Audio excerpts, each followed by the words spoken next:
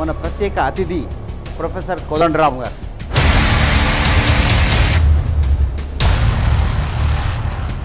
మీతో నడిచిన కేసీఆర్ మిమ్మల్ని విభేదించడానికి కారణం? లొంగి ఉండాలని కోరుకుంటాను. తెలంగాణ ఉద్యోగ సమయంలో కూడా చాలా తలనొప్పులు అవి ఎలాంటివో ఒకసారి. అంటే తక్షణ రాజకీయ ప్రయోజనాలు. పరస్పరం వైరుధ్యం ఏర్పడిన సందర్భం. ఉన్నది వాస్తవం అది. సీఎం కేసీఆర్ నేను ఒక్కడనే తెచ్చినట్లుగా చెప్పు. కేవలం దీక్షా దివస్ చేసేవాళ్ళు. తెలంగాణ మోడల్ ఎలా ఉండబోతుంది? తెలంగాణ మోడల్ అసలు స్వరూపాన్ని టీఆర్ఎస్ నుంచి బీఆర్ఎస్గా మార్చడానికి వెనుక ఉన్న రహస్యం ఏంటంటే? జాతీయ స్థాయిలో పనిచేయాలని చేస్తున్నటువంటి ప్రయత్నం అయితే కాదు. కాబట్టి గుణాత్మక మార్పులు రావాలంటే ఏం చేయాలి? భరించే శక్తి కూడా లేదు.